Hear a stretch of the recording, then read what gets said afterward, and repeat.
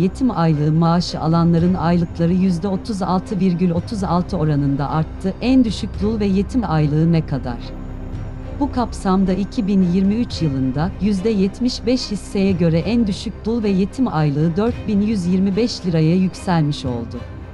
1375 TL olan %25 oranında ölüm aylığı alan çocuğa ise 1875 TL alacak. Emekli maaşı 5500 liraya yükseldiğinde dul maaşı 4125 liraya, yetim maaşı ise 2750 liraya yükselmişti.